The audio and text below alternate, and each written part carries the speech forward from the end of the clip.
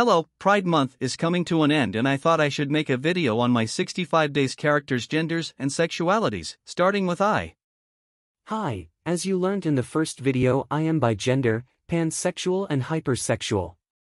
Hello, I'm Kuri. I'm a cis lesbian and date basically anyone under the female umbrella.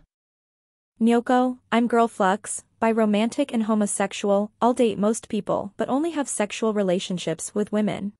Hello, I'm a girl flux asexual and romantically unlabeled. I'm a cis girl and I guess I'm uranic. I like boys and non-binary people, so. Cis omnisexual guy. I'm, uh, hetero. I'm a cis guy and polysexual. I'm Libra Femin AT4T lesbian, so I don't date cis girls, but I date other types of girls, it's a safety thing. I'm cis het but I'm also gray sexual. I'm intersex and unlabeled. You could call me non-binary though. I'm also bisexual. I'm cisgender and Neptunic. I'm bigender, specifically para boy and boyspike, so normally I'm a guy but sometimes for a few hours or a day I'm a girl.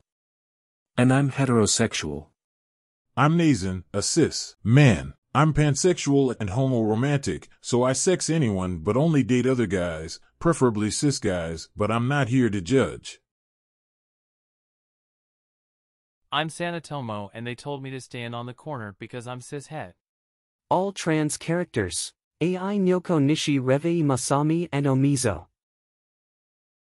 All homosexuals. Kuri Nyoko Revei. All multisexuals.